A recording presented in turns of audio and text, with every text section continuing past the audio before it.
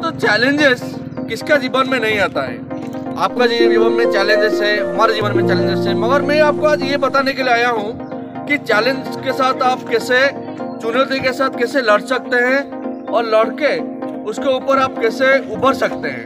तो दोस्तों, नमस्कार, मैं प्रदीप, मैं आपको मेरे चैनल सावधान इंडिया प्रदीप में स्वागत करता हूँ। दोस्तों, अभी जब राइट्स ब्रदर जब बोले होंगे कि हम हवा में आदमी को उड़ा देंगे, हवा में अपना चेयर को उड़ा देंगे, हवा में सामान को उड़ा देंगे तो उस टाइम में लोग क्या सोचे होंगे? उनके सपने जब बोलते होंगे लोगों को फ्रेंड को, कि राइट्स ब्रदर कि हम सभी को उड़ा देंगे, आकाश में उड़ा देंगे। तो उस टाइम में लोग उसको क्या बोलते हैं? हाँ ठीक है, आपका सपना अच्छा है, और आप उड़ा सकते हो। ऐसा बोलते होंगे क्या? नहीं दोस्तों, लोग उनको पागल करके बुलाते होंगे कि दोनों भाई पागल हो गए।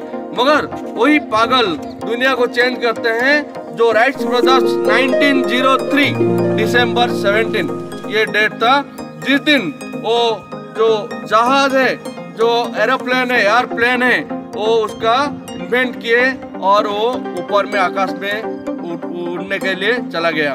तो पहले लोग ये सोचते थे कि पक्षी ओनली उड़ सकता है। पतंग ओनली उड़ सकता है? मगर दूसरा कोई चीज़ उड़ नहीं सकता। मगर वो करके दिखाए। किसके लिए? उनके पास भी चुनौती था और चुनौती का सामना किए और चुनौती का सामना करके वो पूरा दुनिया को दिखा दिए कि वो जो बोलते थे, उनका जो ड्रीम था, वो ड्रीम को सक्सेस कर दिए। तो आपका ज़िंदगी में भी चुनौती आएगा। वो चुनौती को आप पीछे नहीं हटना, डरना नहीं चैलेंजेस को डरना नहीं, आगे बढ़ जाना। दूसरा एग्ज़ाम्पल आपको देता हूँ। जो, टेलीविज़न का उद्घाटन किए थे उनका नाम क्या पता है? जॉन लोजी बैड वो जब टेलीविज़न का करने के लिए स्टार्ट किए थे लोग उसको पागल करके बोले। और जब वो टेलीविज़न का लास्ट स्टेज में पहुँचे थे तो उस टाइम में उनको क्या हुआ था? वो पूरा कनेक्ट करके जब कैमरे के सामने दूसरे लोगों को बिठा के फिर जब आके लास्ट स्टेज में थे और देखे कि मेरा टेलीविज़न ये होने वाला है टीवी जिसको बोल रहे हैं तो उस टाइम में क्या हुआ? जो लोगों को बिठा थे पैसा दे के, जिसको बिठाए थे तुम ओनली बैठना कैमरा के सामने।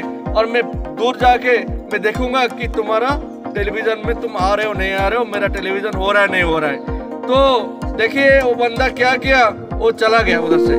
तो जब लास्ट स्टेज में थे तो ये सोचे कि मेरा जो इतना दिन का, सत्रह, अठारह साल का जो परेशानी में जो काम किया, उसका कुछ फ़ायदा नहीं। तो लास्ट में जाके देखे तो उनका जो सक्सेस था, वो सही था, वो लोग जो आगे बैठने वाला वो नहीं था। तो दुनिया में ऐसा ऐसा लोग दुनिया को बदल देते हैं, दुनिया को उल्टा कर देते हैं, जिस लोग पागल होते हैं। पागल ही दुनिया को उल्टा करते हैं दोस्तों।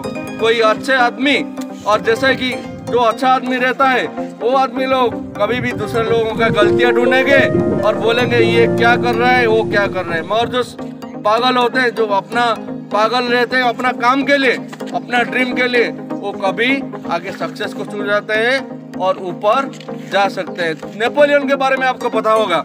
नेपोलियन जो कि अल्पस को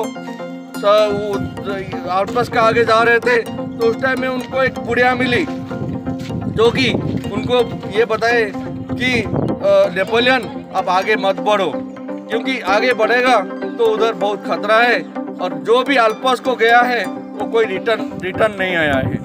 तो उस टाइम में नेपोलियन का जो आंसर था आप सुने आप सुनने के बाद तो आपका दिल गार्डन गार्डन हो जाएगा। वो उनका आंसर ये था माँ जब मैं जा रहा हूँ नेपो, नेपोलियन बोले जब मैं अल्पस को जा रहा हूँ तो मेरे मेरे पास एक हार है। उनके पास एक हार पहने थे वो हार बुढ़िया को दे दिए। बोले ये हार रखो और जब मैं अल्पोस को जीत के आऊँगा तो उस टाइम में ये हार मेरे को पहना देना। और मैं लौट के नहीं आऊँगा तो मेरा जो इमेज है, जो मूर्ति है, उसके ऊपर हार को चढ़ा देना। उनका अंदर में ये दृढ़ संकल्प था, वो करने के लिए, वो मरने के लिए, अपना जीवन को देने के लिए भी डरते नहीं थे।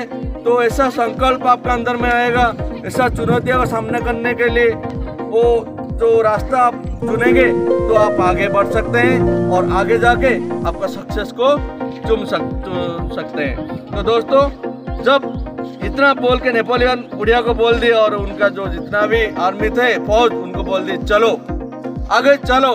और मैं भी आपका पीछे आता हूँ। ये होता है लीडर, ये होता है अपना सब्सक्राइब कीजिए और उसको लाइक कीजिए और आपका दोस्त लोगों के साथ मेरा वीडियो को शेयर कीजिए। तो मेरा तरफ़ से यही है। आप लोग सभी लोग खुश में रहिए, खुशी बांटते रहिए और मेरा तरफ़ से सभी को ऑल द बेस्ट